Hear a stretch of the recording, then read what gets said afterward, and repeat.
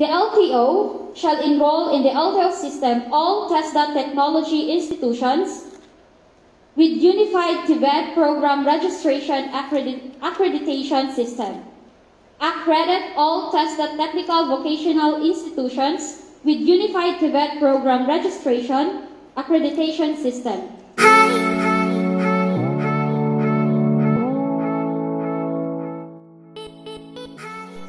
Magandang buhay mga koys. Good news po ito para sa ating mga drivers and riders, especially sa mga bagong kukuha pa lang ng driver's license at dadaan pa sa TDC at PDC. Nagkaroon na po ng agreement ang LTO at TESDA para sa libreng TDC at PDC. Matatandaan natin dati na kailangan pa ng kukuha ng lisensya na mag-enroll sa mga private driving schools para lang makakuha ng TDC at PDC. Kung kaya mahal at malaki ang binabayaran nito. Pero ngayon, meron ng MOA, ang LTO at TESDA. Ang MOA na ito o kasunduan ng LTO at TESDA ay may layunin na makapag-provide tayo ng safe drivers sa hindi ganon kalaking gagastusin. Mag-harmonize din ito ng mga rules to ensure quality training for drivers. As we all know, TESDA is government-owned also. Walang pinagkaiba ang certificates na mau-offer nito sa mga certificates mula sa LTO Drivers Education Center. The MOA will complement the existing trainings to address uniformity and standards. Makakatulong ito sa LTO na makapag-respond sa demand ng mga quality drivers sa ating bansa at mas malaking tulong ito sa ating mga kababayan. Dahil bukod sa pandemic, ay talagang makakatipid po tayo talaga ng malaki. Ayon kay Asik Galvante ng LTO, ito ang kanilang tugon sa matagal ng hiling ng publiko na magkaroon ng dekalidad at murang driver's training kung saan ay matutugunan ang ating pangangailangan bilang mga drivers at riders na mapamura ang ating mga babayaran sa pagkuha ng lisensya. Alam ko mga koys at mga sis na marami pa pa tayong katanungan patungkol sa MOA na ito. Kailan ba ito magsisimula? Ang mga dati bang mga TESDA NC2 ay accredited pa rin ba kung ikaw ay kukuha ngayon ng driver's license? Magkano ba ang babayaran? Meron ba talaga itong babayaran? Ilan lamang yan sa mga katanungan na maaaring tumatakbo sa inyong mga isipan mga koys at mga sis. Mamaya ay maaaring masasagot na natin ang mga ito. Sa ngayon, panoorin muna natin ang ilang kaganapan sa nangyaring signing of agreement ng LTO at TESDA.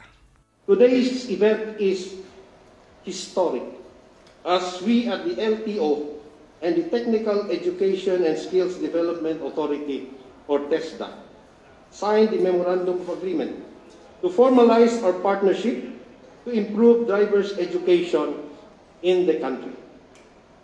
The MOA will ensure uniformity of standards and the availability of less expensive and highly competent driving schools. The Land Transportation Office and Technical Education and Skills Development Authority join hand in hand to realize a common concern for road safety and education of the drivers. The TESDA, a government agency providing technical and vocational skills training and education, and as the leading partner in the development of the Filipino workforce and with world-class competence and positive work values, will train the Filipino drivers, especially those in marginalized sector. With the end view of enhancing the road safety through driver's education, the LTO commits to work towards the rationalization of LTO services and facilities and to implement effectively the various land transportation laws, rules, and regulations. This collaboration will ensure safer roads and reduce, if not eliminate, road crash incidents. napakaganda ng magiging uh, partnership natin. With the partnership, lalo pa nating ma-improve yung performance ng mga drivers, mga skilled workers, yung kailangan pang uh, i-hone nila ang skills nila para lalong maging maganda ang kanilang serbisyo. Maganda yung ating uh, magiging ugnayan because as you know, uh, facilities of LTO is not that much that we don't have the capability, uh, enough capability to, for example, teach those who would like to have in their possession driver, driver's license for pursuing their livelihood. As you know, we depend on a few of our instructors to teach would-be drivers and qualify them before they get the driving driver's license. And definitely, uh, dahil sa dami ng nag apply kakailanganin natin ng assistance ng allied offices that can also help us uh, do our thing, so to speak. And definitely, uh, TESDA, which is also represented in all the regions of the Philippines, can help us a lot in this score. Let us listen to the message from our partner agency, the Director General of TESDA, Secretary Isidro La Peña.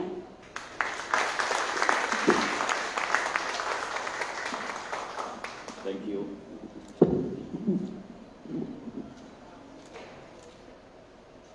Alam po naman ninyo na yung ah, ating ah, mga ah, mga driving drivers community, yung population natin ah, is ah, palaki ng palaki. Especially ah, with ah, the the pandemic. Ah, yung ating data, yung ah, from the PSA, uh, yung labor market uh, information system natin. Ang isa sa mga mga pang, pa, na uh, pangangailangan ng mga trabahante ay sa mga drivers natin.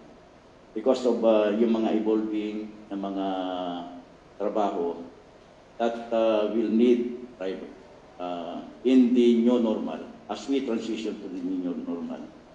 At ang uh, si- sinasabi ay uh, uh, dahil sa mga yung mga pangangailangan ng, mga iba-ibang industry that uh, will have to to shift into the new normal. Ang palaging uh, constant na pangangailangan diyan is the driver.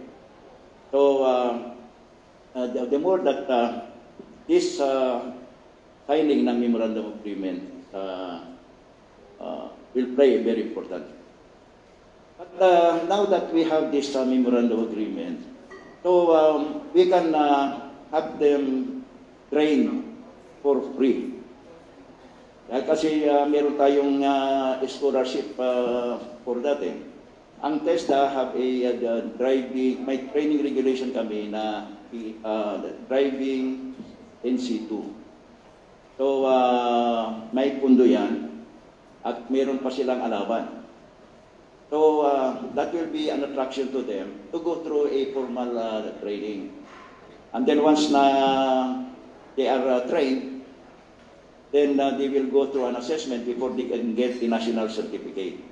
And uh, ito yung napag-usapan natin na uh, once uh, once na meron na yung national certificate, then uh, they can uh, go further in getting a professional uh, license after certain processes uh, na, gagawin, na gagawin natin. So, um, with this development, we hope na uh, it will uh, result to a, uh, a safer uh, a safer uh, uh, streets natin, safer highways, and ang ma- magiging uh, mabibeneficyan dyan will be the, right, the riding public as well. At saka yung mga kababayan natin sa mga kalsada.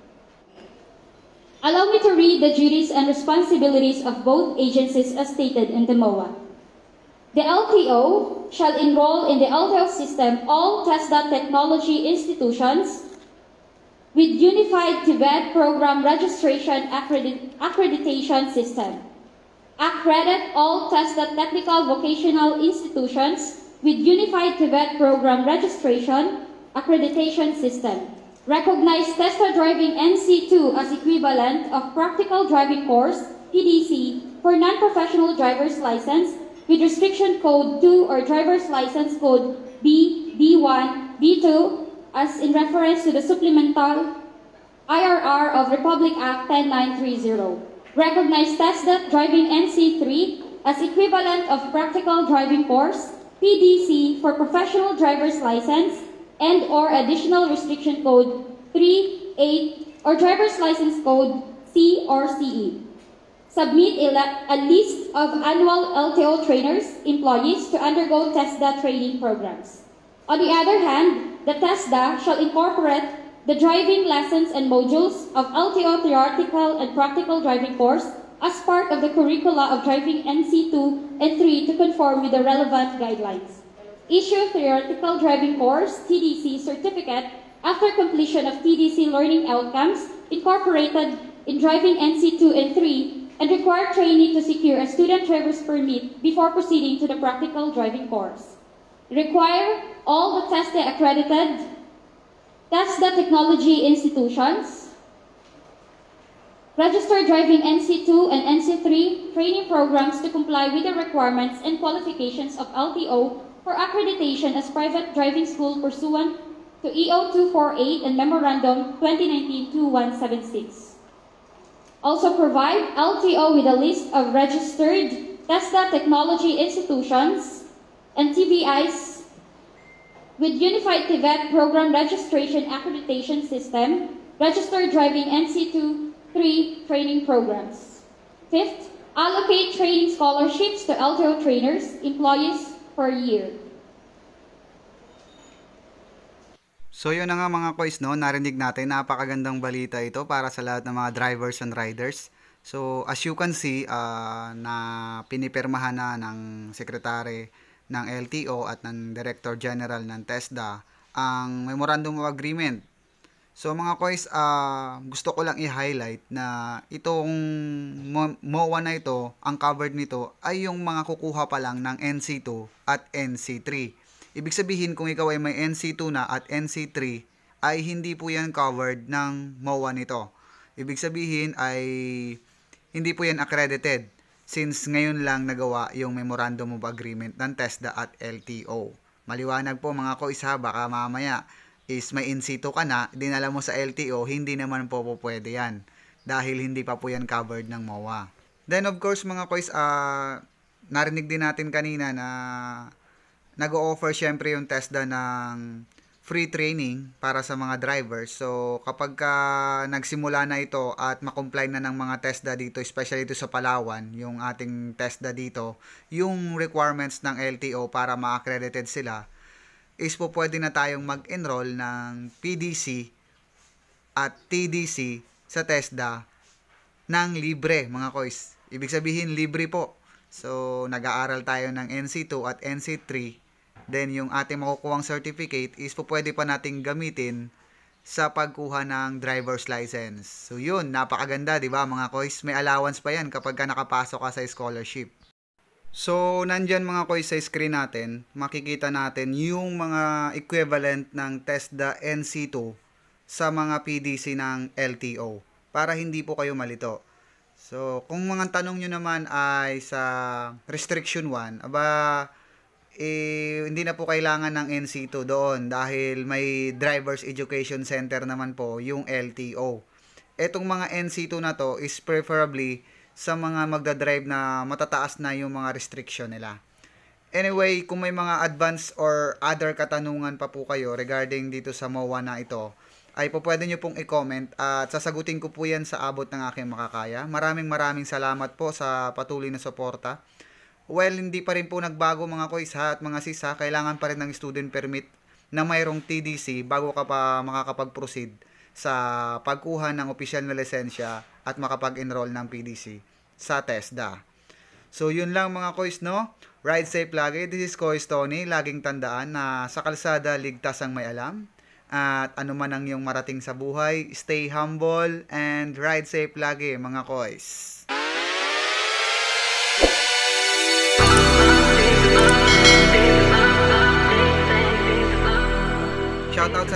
PMB kay Kuya Lan Moto TV, Cam Rider, Pops Angel, Ryan Lutz TV, Moto JP, Ron Hardinico, Legendary TV, sa lahat-lahat ng mga PMB. Ride safe lagi.